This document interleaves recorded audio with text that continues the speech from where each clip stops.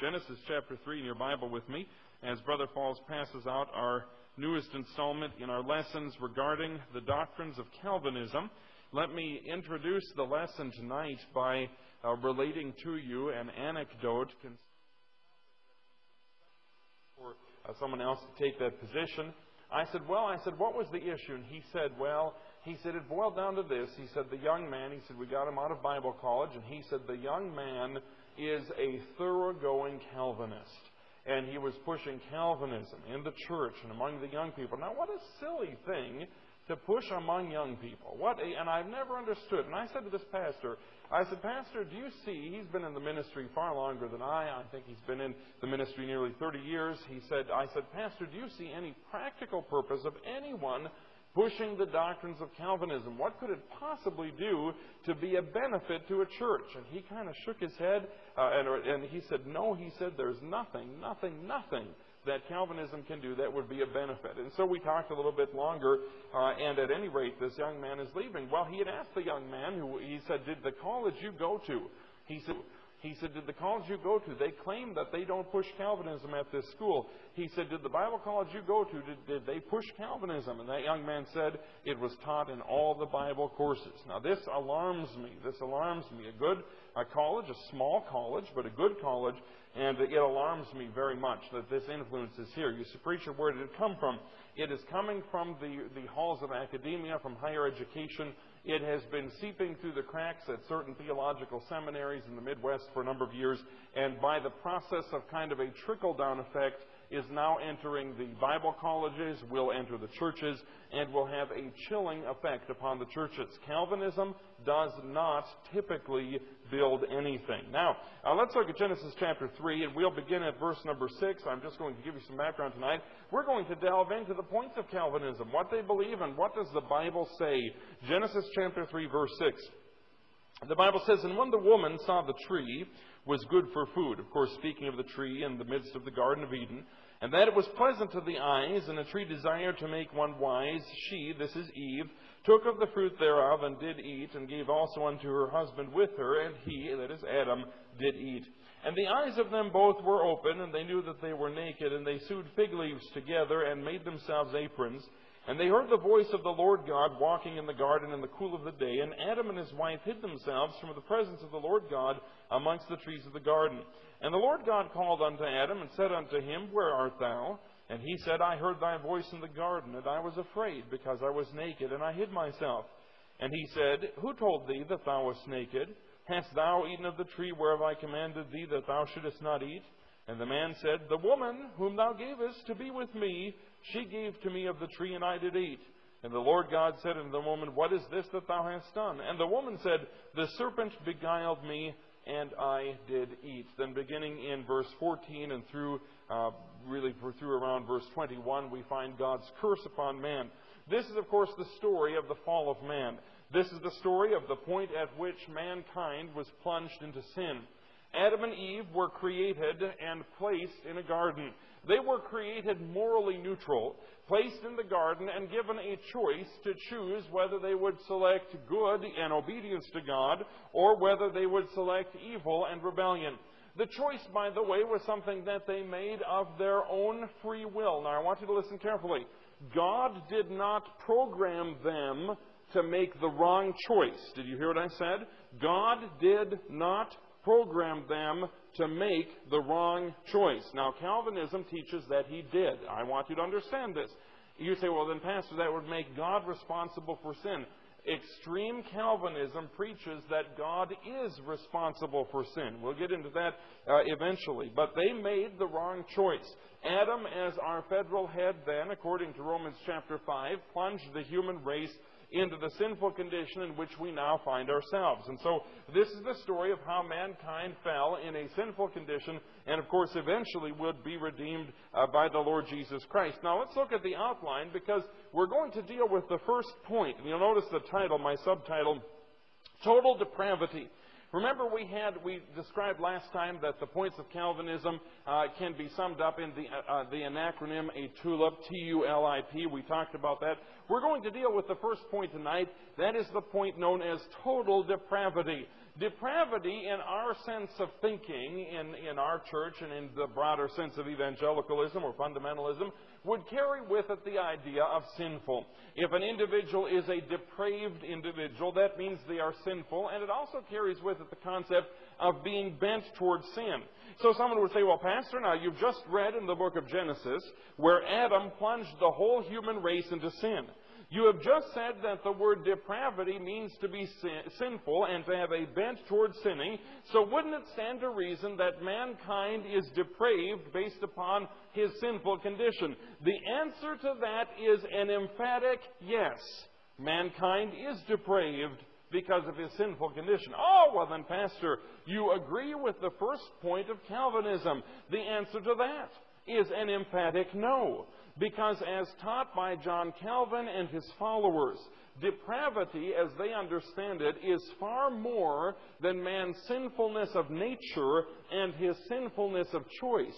It goes beyond man even having the opportunity to make a choice, and man's depravity, as we'll see in a moment, is defined by John Calvin and other current Calvinists as complete inability to ever choose right or to ever choose God. Now, ladies and gentlemen, that is a, an extreme difference between the concept of a sinful nature and, in, and inability. We'll get into that in a moment. Look at your lesson outline, please, beginning at the introduction. The errors incumbent in the five points of Calvinism are easily identified when one contrasts the teachings of Calvinism to the teaching of Scripture. Well, some of the five points may appear to have scriptural foundation, just as we said a moment ago, total depravity appears to. It will be shown that all five points, as taught by leading Calvinists, lack scriptural merit. We begin our tiptoeing through the tulips with the letter T for total depravity. Okay, first, before I get into what John Calvin taught and his followers taught subsequently, we need to understand what the Bible teaches. We've read the passage from Genesis chapter 3, the biblical doctrine of the sinfulness of man. Point A, the Bible teaches that man has been a fallen creature, a fallen creature since Adam's transgression in the Garden of Eden. A, a fallen creature. By the way, ladies and gentlemen, this is the problem with mankind today. We are a fallen creature. We are not a creature that is evolving to a higher social function. We are actually a creature that is just one slim line away from barbarism. You say, oh, but Pastor, we are so civilized in our day and time. It is amazing how rapidly our quote unquote civilization and the structures of our civilization can disintegrate when lawlessness prevails. And we've seen that in some great tragedies in our uh, American history, even in recent days when there's no rule of law. It is amazing how rapidly people turn back to the rule of the jungle, and they, the, supposed, uh, the supposed restraints of civilization mean nothing to them anymore, and they throw those things off very rapidly. That is certainly the case. Uh, man is not inherently good. By the way, you cannot rear children properly if you believe that man is inherently good. My kids are not inherently good. And by the way, mom and dad, be careful of this. Don't defend your children. When they do wrong, punish them for the wrong that they do. Oh, well, Pastor, you don't understand. My kid would never even dream of doing thus and so. Oh, yes, he would. Okay, I guarantee it. Well, but Pastor, in this particular instance, he had absolutely, he didn't do a thing that was wrong. Okay, maybe not in that particular instance, but there were many other particular instances that he didn't get caught for. So if once in a while you spank a kid for a particular instance where he really wasn't in the wrong, uh, just tell him, listen, that's for your bank account and you're still way ahead. Understand that. Kids get mine. Kids get mine. You preacher, how do you know that? Don't you remember what it was like to be a kid? You know what you got by with, okay? You know you didn't get nearly what you deserved. And um, at any rate, we understand that man is a fallen creature. That is why we deal with man as a fallen creature. If man were not a fallen creature, we would not need to have laws. If man were not a fallen creature, we wouldn't have rules. We wouldn't have to have standards. Everyone would automatically do what is right, but certainly that is not the case. Mankind fell into sin when Adam transgressed. Continuing at point A, the New Testament declares that Adam's transgression passed upon all men, ensuring that all are sinners by nature. Turn to Romans chapter 5. I want you to see the verse. Romans chapter 5. We've looked at Genesis chapter 3. Romans chapter 5 confirms this. Romans 5, verse number 12. The Bible says, Wherefore, as by one man, this is Adam, speaking of Adam, wherefore, as by one man sin entered into the world, and death by sin, and so death passed upon all men, for that all have sinned. Now, watch in verse number 12. There are two ideas of the sinfulness of man. Number one, man inheriting a sinful nature from Adam. As by one man sin entered into the world, and death by sin, and so death passed upon all men. Preacher, how did death pass upon all men? Because number one, sin entered the world through our federal head, Adam. Adam, as the representative of the human race, sinned. All of us in Adam sinned. He is the federal head of the race. And the Bible teaches that death, because of sin, passed upon all men. Then the last part of the verse says this For that all have sinned not only sinners by nature, having inherited the sin nature from Adam, the bent toward wrongdoing that is adequately demonstrated in the fact that you never have to teach a child how to lie. They learn that on their own. Why? Because they have a sinful nature. They are bent toward sinning. Mankind is sinful. Mankind is bent toward sinning. That based upon his nature. But look at the outworking of the nature, the end of verse number 12. For that all have sinned. That is the action. The first part is the nature we inherit. The second part is the action or the sins that we commit. All of us commit sin. So we have a sinful nature and we are all sinners. That is exactly what the Bible teaches.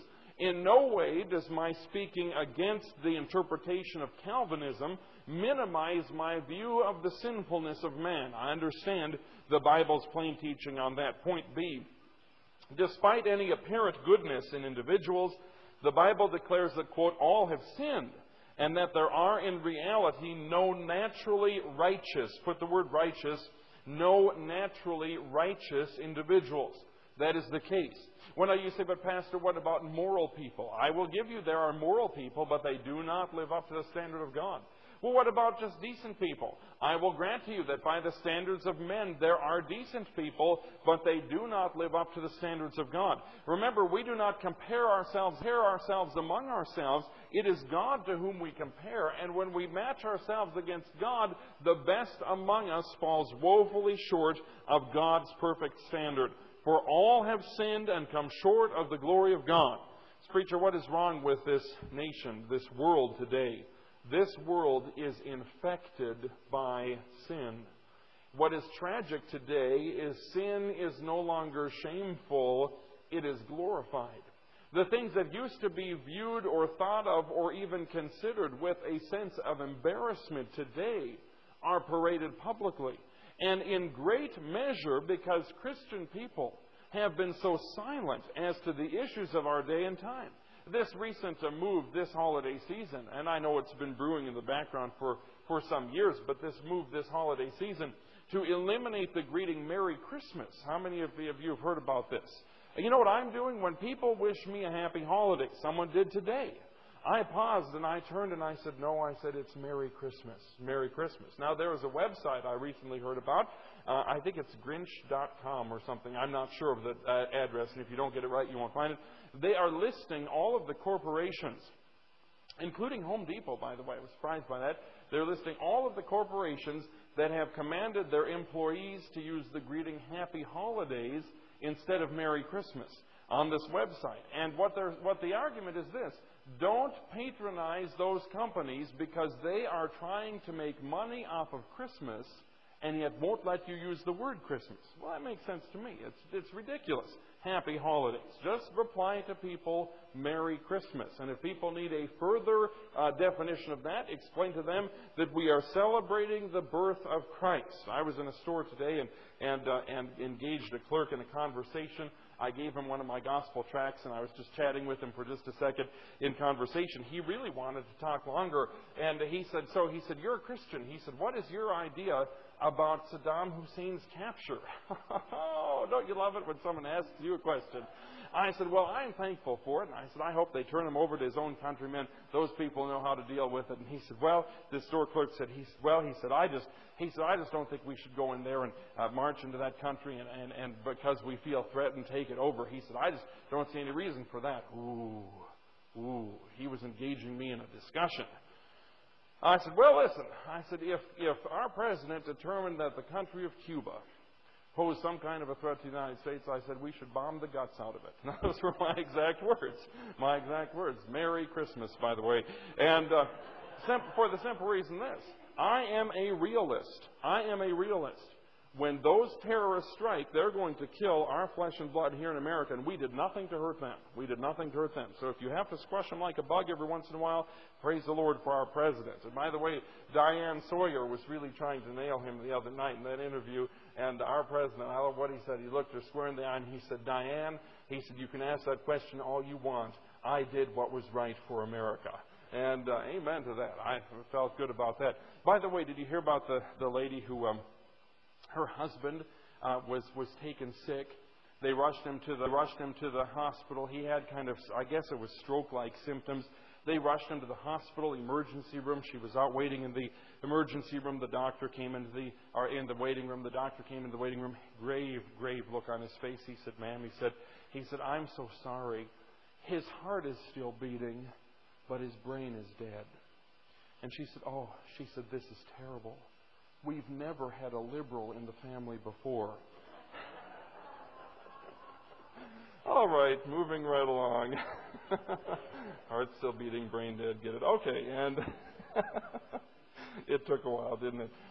Back to what we were talking about. The sinfulness of man. The Bible says that all have sinned. Sin is our problem. That is our problem. Point number two the nature of sin. What is sin? Well, let's find out. As defined by the Bible, the Bible says that sin is the transgression of the law, L A W, the law. That is the violating or the breaking of God's law. That is sin. Sin is the transgression of the law. Point B, sin is falling short of God's glory, for all have sinned and come short of the glory of God. So it is falling short of God's glory. Doesn't that include us all? Certainly we have all transgressed God's law. We have all fallen short of God's glory. C, letter C, Sin involves turning from God's way to one's own way. Isaiah 53 6. We have turned everyone to his own way. It is turning out of the path of God. It is going in aberrant direction from the way that God would have us to go. That is sin. Sin, the Bible says in 1 John 5 17, includes all unrighteousness. You say, Preacher, what is unrighteousness? Righteousness is simply this. When one meets his obligations, he is righteous. Okay, that is the, that is the, that is the, um, uh, uh, shoe leather definition for righteousness. When one meets his obligations, unrighteousness then is a failure to meet my obligations.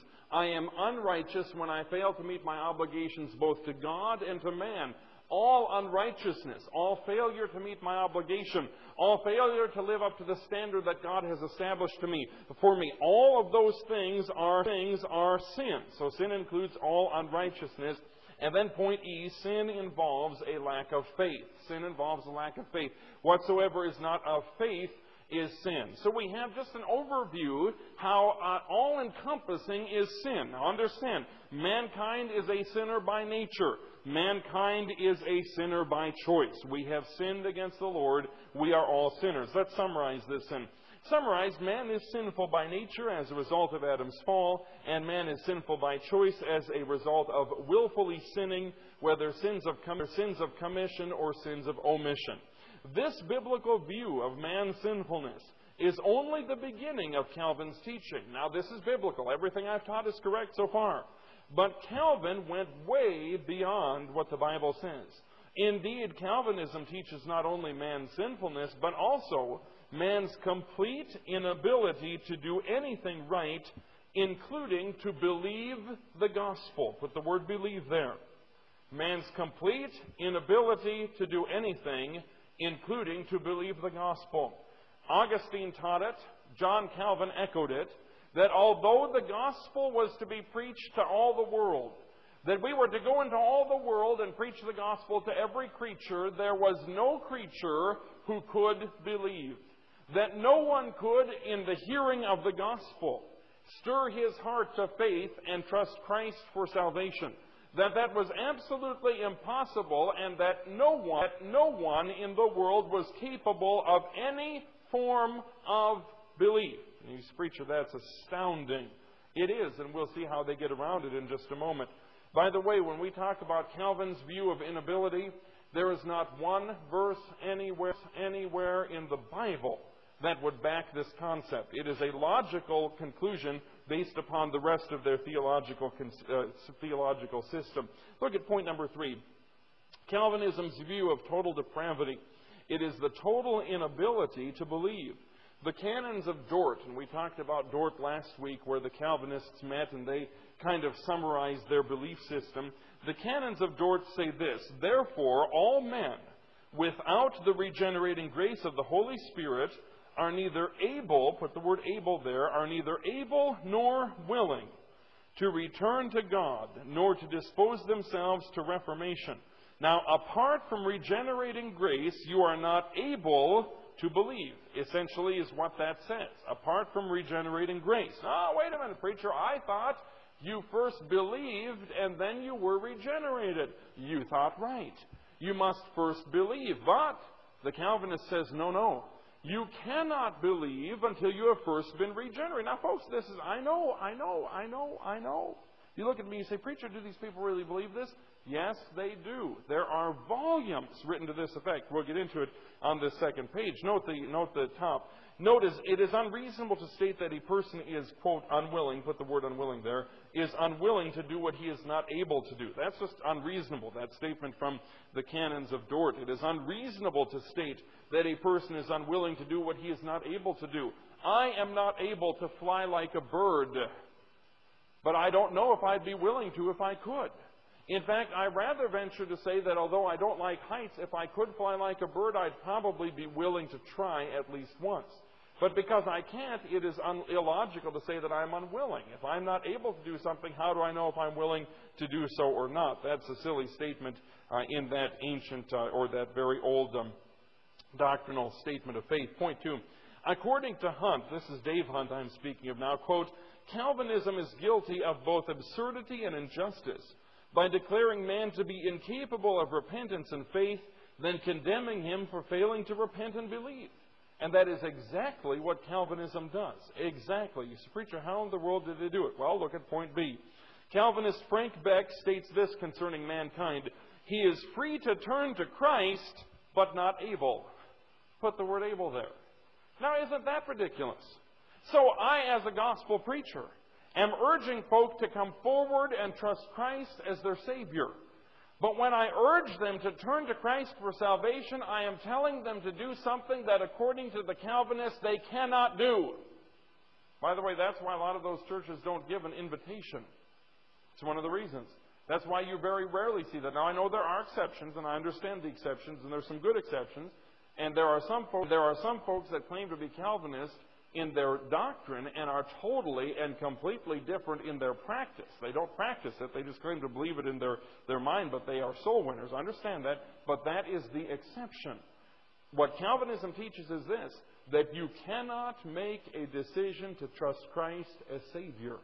What would be the sense of preaching the gospel to all the world if people cannot, by their very nature, believe? Well, Pastor, what would be the sense? Well, we'll find out in a moment how they deal with this. Point C. Although the Bible never states that man is unable to believe the gospel, leading Calvinists, Talbot and Crampton, and they've written a whole book about this, have written, quote, the Bible stresses the total inability of fallen man to respond to the things of God. Does the Bible stress that? Can that be found in the Bible? What about the invitation, look unto me, all ye lands, and be ye saved? What about that? What about the invitation, whosoever will, let him drink of the water of life freely? What about the invitation, uh, whosoever shall call upon the name of the Lord shall be saved? Do those verses of the Bible that invite us to turn to God, do they anywhere indicate our inability to turn to God?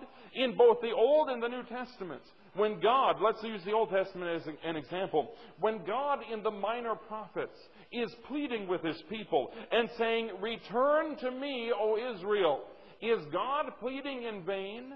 Is God asking for something that they are incapable of accomplishing? Absolutely not.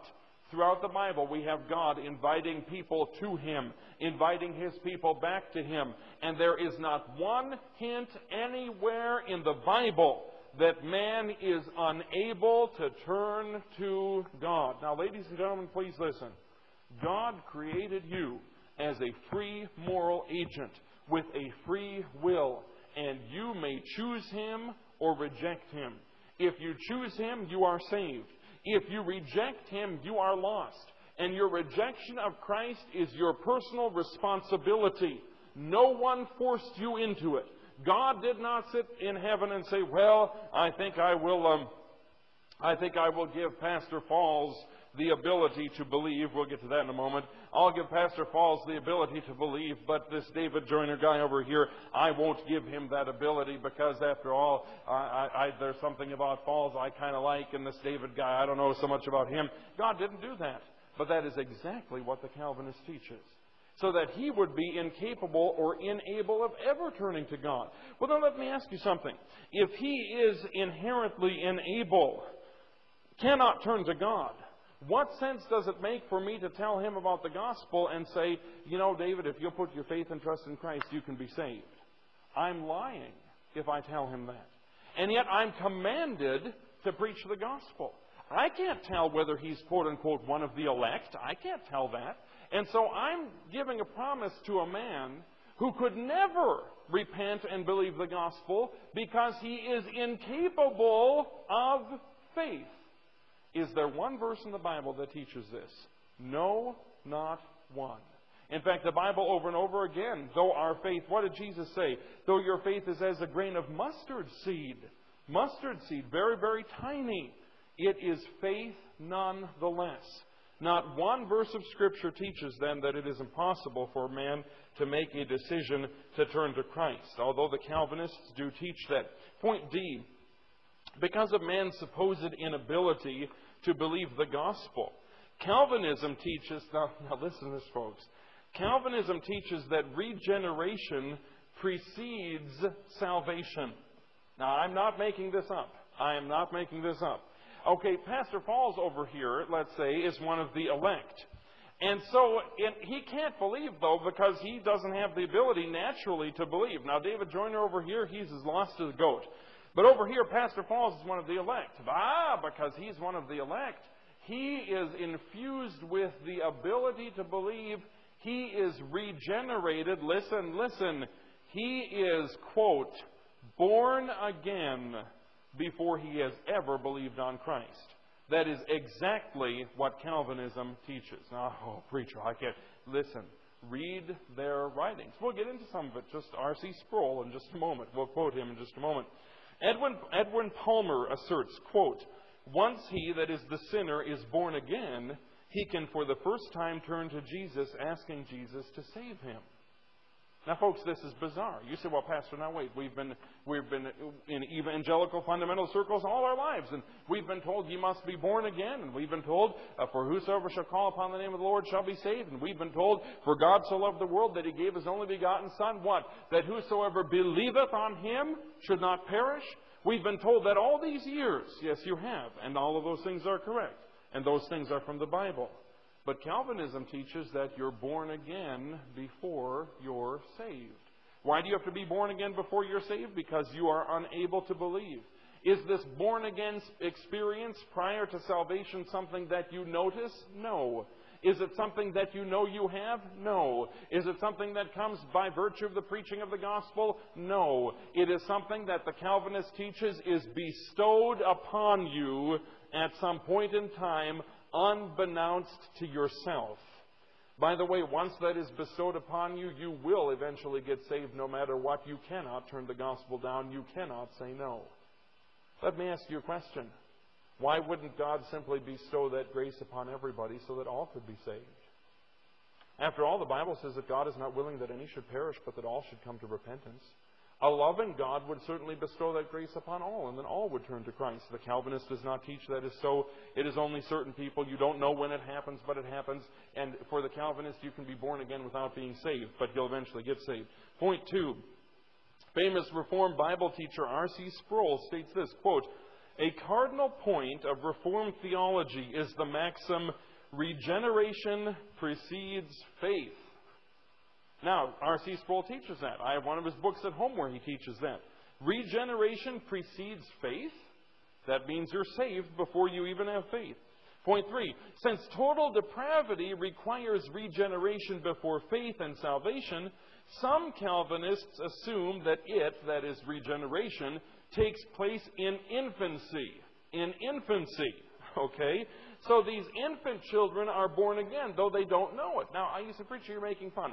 I'm trying not to make fun. But there are serious theologians that believe this.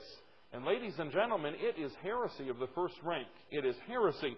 Infant children are not born again. By the way, part of this is where we have what they call the quote unquote covenant of baptism.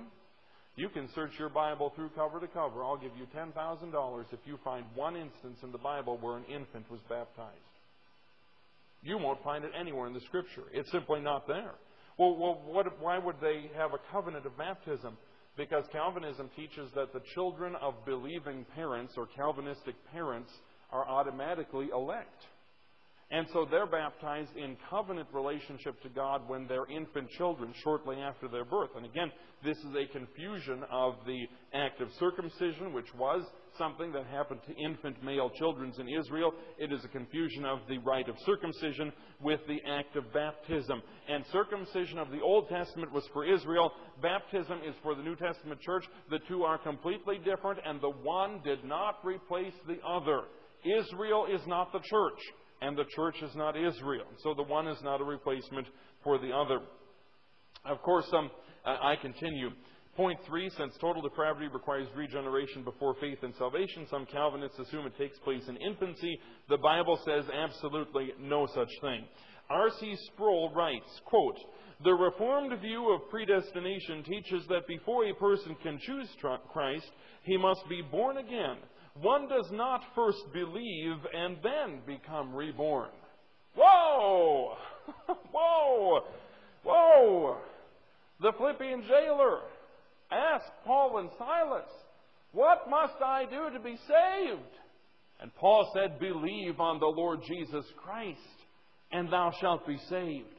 He didn't say, well, you know, I'm not sure how you're going to be saved because I'm not sure if you're one of the elect. And I don't know if you've been born again. You know, you have to be born again before you're, you can be saved. There's not one verse anywhere in the Bible that teaches this gobbledygook.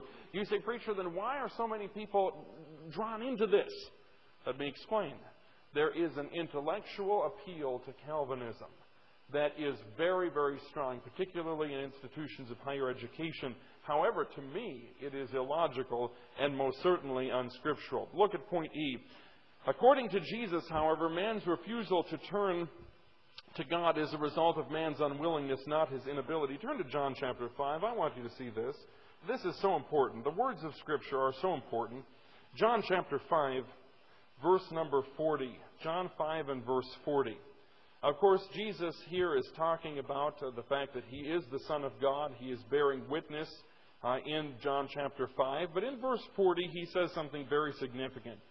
John 5 and verse 40, Jesus said, And ye will not come to me, that ye might have life. He rebukes his audience. He says, You're rejecting me. You will not come to me, that ye might have life. According to Jesus, man's refusal to turn to God is a result of man's unwillingness, not inability. Jesus said, Ye will not come to me. He did not say, Ye cannot come to me. Does everyone understand that? If I hold someone accountable for something they cannot do, if I punish someone for failing to do something that they cannot do anyway, I am unjust. The Calvinist makes God unjust. If David Joyner here cannot come to Christ, he cannot. And yet he is commanded, repent or perish. But he cannot come to Christ because of his inability, because he has not been given this special grace, this being born again before you're saved bit. If, if he cannot turn to Christ, and I yet command him, and the gospel says, believe and be saved, repent or perish, and he cannot come, then who am I to hold him accountable for something he cannot do? That is ridiculous. And what in the world would be the point of preaching the gospel to every creature? If only a select few even have the ability to believe. May I say that by logical extension, in the system of Calvinism, all soul winning would be a waste of time because the vast majority of people could not turn to Christ anyway, according to that system of Calvinism. What a silly And by the way, you just don't find it in the Bible. And if you think you can, show me later, but you won't. Point F. As Calvinism teaches, one cannot believe apart from being regenerated, and God regenerates certain individuals in order that they uh, might believe. Why doesn't a loving and compassionate God regenerate all people that all might believe? Well, why not? Oh, this is a conundrum. These Calvinistic scholars struggle with this. Oh, well, we believe that God only chose some and that those some are the only ones who can believe and that though everyone else is commanded to believe, they really can't believe and they're already, their damnation is already sealed uh, and yet they're responsible for something they cannot do, but they're commanded to do it, but they cannot do it and everybody knows they can't do it and God only allows certain.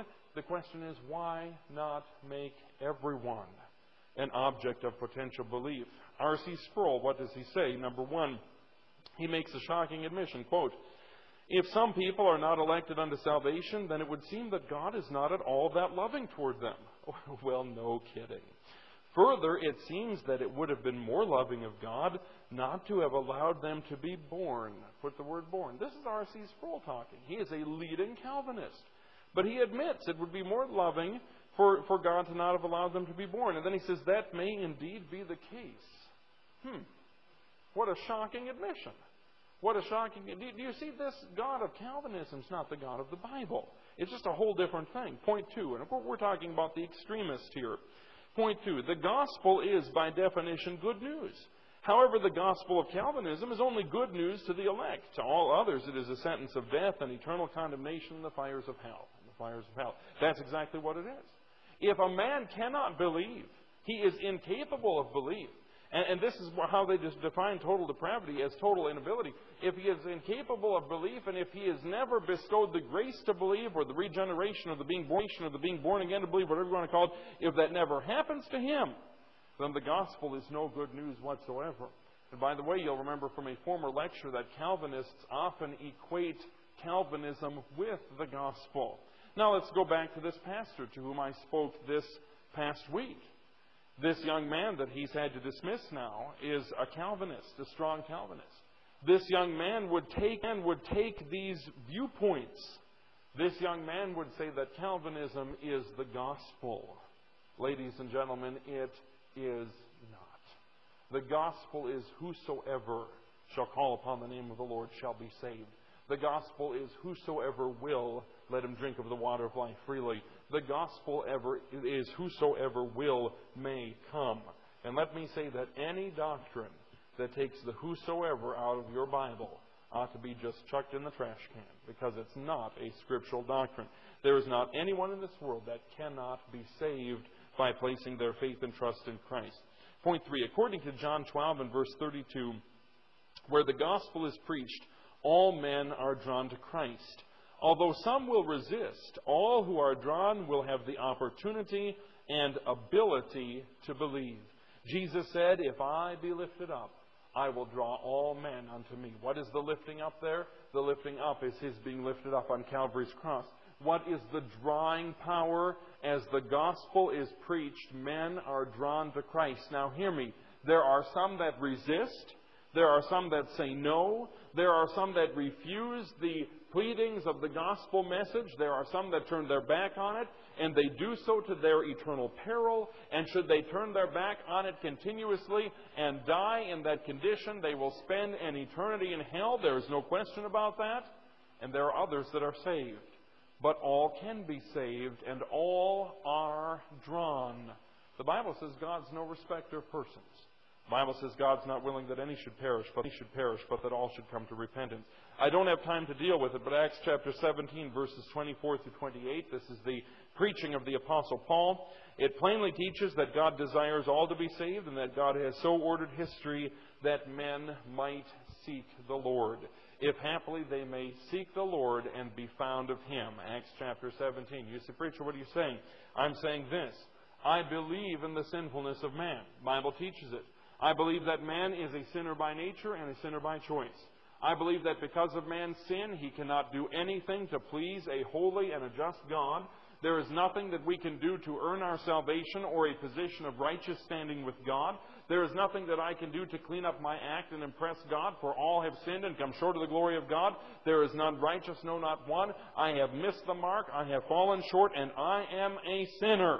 I understand that. But God so loved the world that he gave his only begotten Son, that whosoever believeth in him should not perish, but have everlasting life.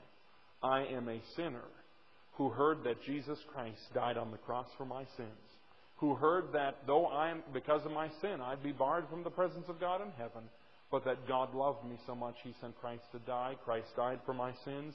By simple faith in Jesus Christ, I am saved. And I'm a Christian not because there's anything good in me, but because there's everything good in Jesus.